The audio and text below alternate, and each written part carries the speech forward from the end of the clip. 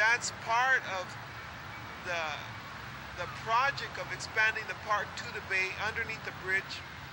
So Chicano Park is still something that um, is is uh, being established and is, is, growing and is for the use of the community. The community, are, as you see, excuse me, does does use it.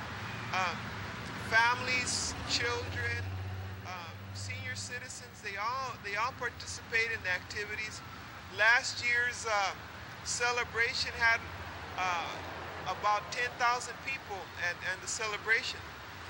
So Chicano Park has been uh, very important to, to muralists, to the community, and, and internationally it, has been um, a voice of what Chicanos have done here in the Southwest.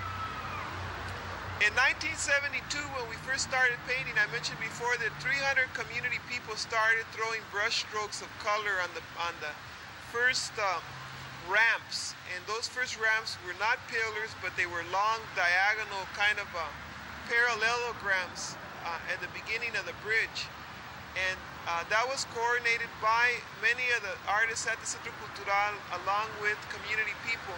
The funds were both from the Centro and from the community. Uh, later on, the next projects that were done after that were like a children's um, mural that I coordinated with Lowell Elementary, which is on the on the one of the sides of um, of the ramp. then uh, Tomas uh, Castañeda painted uh, a mural on the other side of that ramp and uh, he calls it the, la, El Corazón de la Gente. That was done in 74. After 1974, uh, Salvador Torres and Abraham Quevedo uh, initiated the invitations to other groups of muralists from throughout the state and the Southwest to come in and participate. And through the help of National Steel, for instance, we got scaffolding, uh, paints and other materials to, to work on, uh, on, the, on those murals.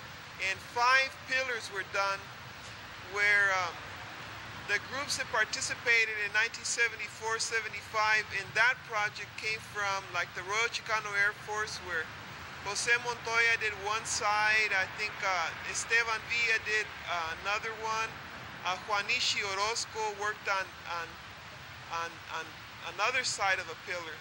Also, las mujeres muralistas de Sacramento worked on, on one together in, in giving a real important statement about women, especially Chicanas in this barrio.